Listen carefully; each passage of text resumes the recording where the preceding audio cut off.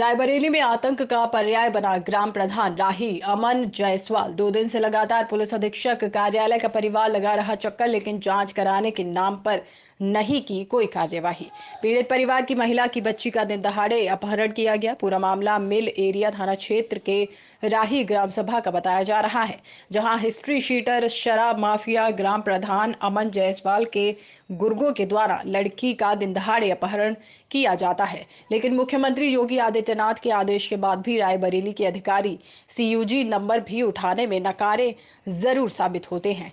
वहीं इस पूरे मामले पर परिवार मिल एरिया थाने पहुँचा और प्राथमिक सूचना दर्ज कराई।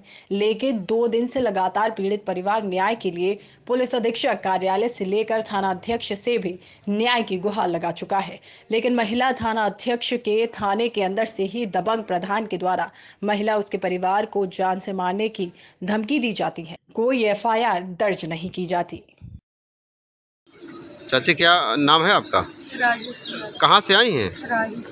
ए, क्या हुआ आपके साथ? भैया मेरी लड़की को कई दिन पहले ये कुछ खिला पिला के ले गए वहाँ लखनऊ। कौन लेके गया कौन लेके गया? जायसवाल। हाँ जी। कुछ भी ना पता मतलब कुछ भी नहीं घर में बताए ना कुछ पता नहीं क्या खिला दी है। वहाँ लेके गए पता नहीं झूठ झूठ के क्या शादी ब्याह किए क्या नहीं किए हो उसका मतलब दिमागी हालत सही नहीं है। जी।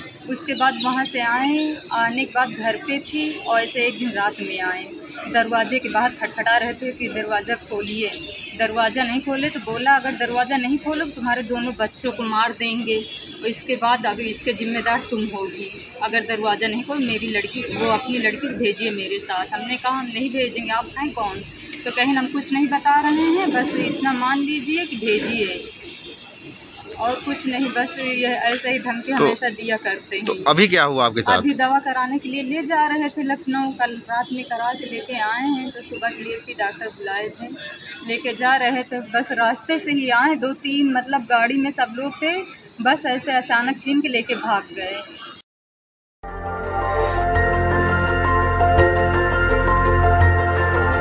देखते रहिए डीबी भारती समाचार।